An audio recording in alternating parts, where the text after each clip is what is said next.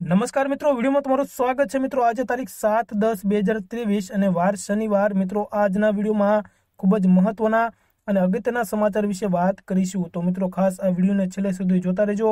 મિત્રો, આજના વિડીયોમાં વાત કરીશું હવામાન વિભાગની સત્તાવાર જાહેરાત. બે હજારની નોટ પર આરબીઆઈએ આપ્યું મોટું નિવેદન. કેન્દ્ર સરકારે એલપીજી સબસિડીમાં કર્યો વધારો. પશુ ચિકિત્સા સેવાને વધારવાનો નિર્ણય. નવરાત્રી પહેલા આવ્યા કામના સમાચાર. ખેડૂતોને દર મહિને મળશે ત્રણ હજાર રૂપિયા. સારા સમાચાર, સોનું થયું સસ્તું. ભારત સરકારે ટેલિગ્રામ, યુટ્યુબ અને એક્સને મોકલાવી નોટિસ. મિત્રો, આ તમામ સમાચાર વિગતવાર જાણીએ એ પહેલાં, જો તમે અમારી યુટ્યુબ ચેનલ ઉપર નવા છો અને હજુ સુધી આ ચેનલને સબસ્ક્રાઇબ નથી કરી, તો ખાસ સબસ્ક્રાઇબ કરી લેજો. જેથી કરીને મિત્રો, તમામ નવા વિડીયોની અપડેટ્સ તમને સમયસર મળતી રહેશે. મિત્રો, આજના સૌથી પહેલા સમાચારની વાત કરીએ તો હવામાન વિભાગની સત્તાવાર જાહેરાત છે એ હવામાન વિભાગે કરી છે. મિત્રો, ચોમાસાને લઈ હવામાન વિભાગે સત્તાવાર જાહેરાત કરતા જણાવ્યું છે કે રાજ્યમાં ચોમાસાએ વિદાય લઈ લીધી છે. રાજ્યમાં આ ચોમાસાની સિઝનમાં સો ટકાથી વધુ વરસાદ નોંધાયો છે. બીજી તરફ, ચોમાસાની વિદાય સાથે ઠંડીનો અનુભવ પણ લોકોને થઈ રહ્યો છે. સવારે અને સાંજે ઠંડી તેમજ બપોરે ગરમીનો અહેસાસ લોકોને થઈ રહ્યો છે. જોકે હજુ શિયાળાની શરૂઆત થઈ નથી. આગામી થોડા દિવસોમાં ગરમી ઘટશે તેમજ ઠંડીમાં વધારો થતો જશે. તો મિત્રો, હવામાન વિભાગે સત્તાવાર જાહેરાત કરી દીધી છે, જે મુજબ રાજ્યમાંથી ચોમાસાએ વિદાય લઈ લીધી છે. ત્યારે હવે ધીમે ધીમે શિયાળાની શરૂઆત થઈ રહી છે, પરંતુ હાલ હજુ એકદમ શિયાળાની શરૂઆત થઈ નથી. આગામી થોડા દિવસોમાં ગરમી ઘટશે તેમજ ઠંડીમાં વધારો થતો જશે. મિત્રો તે પછીના મહત્વના સમાચારની વાત કરીએ તો બે હજારની નોટ પર આરબીઆઈએ આપ્યું મોટું નિવેદન.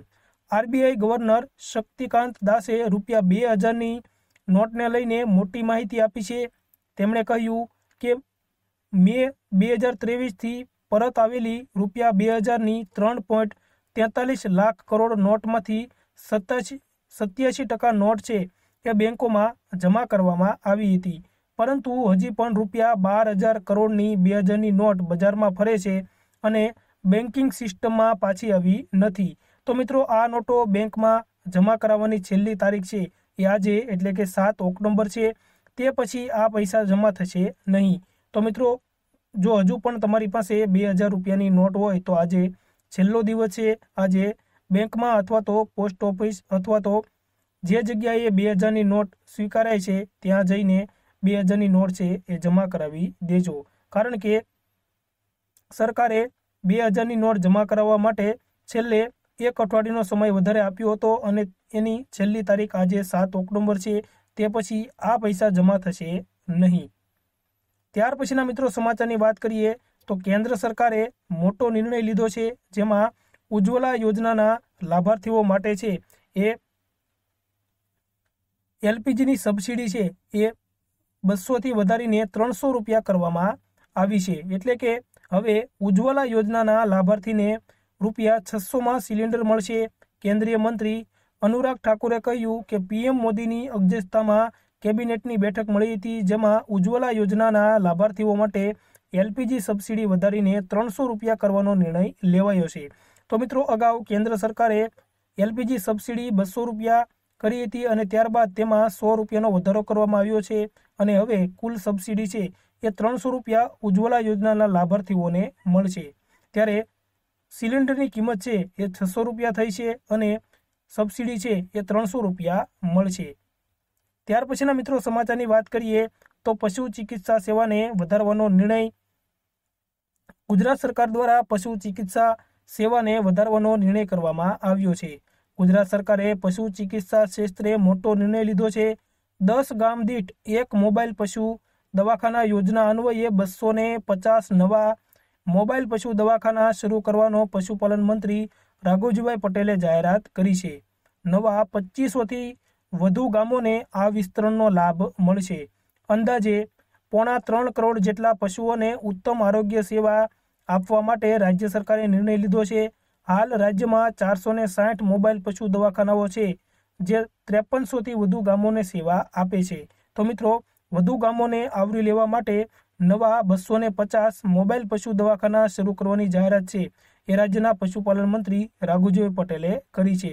ત્યારે નવા પચીસોથી વધુ ગામોને છે, એ આ નવી સેવાનો નવા વિસ્તરણનો લાભ મળશે. ત્યાં પછીના મિત્રો સમાચારની વાત કરીએ તો નવરાત્રી પહેલા આ સમાચાર છે, એ મહત્વના છે કારણ કે સિંગ તેલના ભાવમાં છે ત્રણ દિવસમાં એકસો ને નેવું રૂપિયાનો ઘટાડો થયો છે. જણાવી દઈએ કે દોઢ મહિના પછી સિંગ તેલના ડબ્બાનો ભાવ ત્રણ હજારની નીચે પહોંચ્યો છે. તેનો હાલ ભાવ બે હજાર નવસો ને ચાલીસ રૂપિયા છે. મળતી માહિતી અનુસાર દિવાળી સુધી સિંગ તેલના ભાવમાં હજી પણ ઘટાડો થઈ શકે છે. મહત્વનું છે કે રાજકોટની સાથે સમગ્ર સૌરાષ્ટ્રના માર્કેટિંગ યાર્ડમાં નવી મગફળીની આવક થઈ છે. તેથી સિંગ તેલના ભાવમાં છે એ ઘટાડો જોવા મળી રહ્યો છે.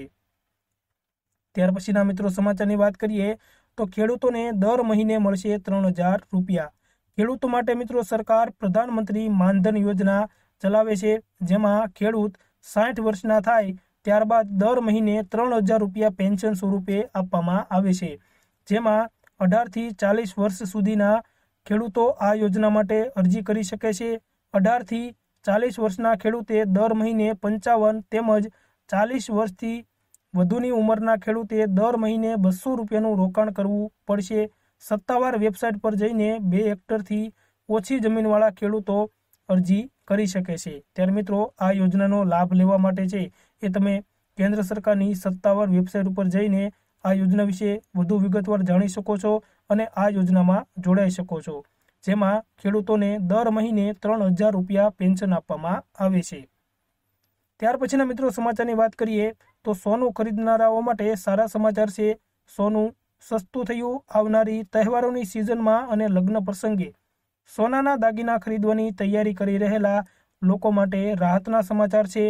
છેલ્લા પાંચ મહિનામાં સોનાના ભાવમાં પાંચ હજાર રૂપિયા પ્રતિ દસ ગ્રામ અથવા તો આઠ પોઈન્ટ ચૌદ ટકાનો ઘટાડો થયો છે. ઇન્ડિયા બુલિયન એન્ડ જ્વેલર્સ એસોસિએશનના ડેટા અનુસાર ચાર ઓક્ટોબરે સોનાની કિંમત ઘટીને છપ્પન હજાર છસો ને સત્યાવીસ રૂપિયા પ્રતિ દસ ગ્રામ થઈ છે. ડોલરની મજબૂતી અને સોનાની માંગમાં ઘટાડાને કારણે સોનાના ભાવમાં ઘટાડો જોવા મળી રહ્યો છે. તો મિત્રો, આવનારા તહેવારોની સિઝન તેમજ લગ્ન પ્રસંગે સોનું ખરીદનારાઓ માટે આ મહત્વના સમાચાર છે, કારણ કે સોનાના ભાવમાં ઘટાડો જોવા મળ્યો છે. ત્યાર પછીના મિત્રો સમાચારની વાત કરીએ તો ભારત સરકારે ટેલિગ્રામ યુટ્યુબ અને એક્સને મોકલાવી નોટિસ. કેન્દ્ર સરકારે ભારતમાં તેમના પ્લેટફોર્મ પરથી બાળકોને લગતી જાતિ શોષણની સામગ્રી દૂર કરવા માટે એક્સ યુટ્યુબ અને ટેલિગ્રામને નોટિસ ઇસ્યુ કરી છે.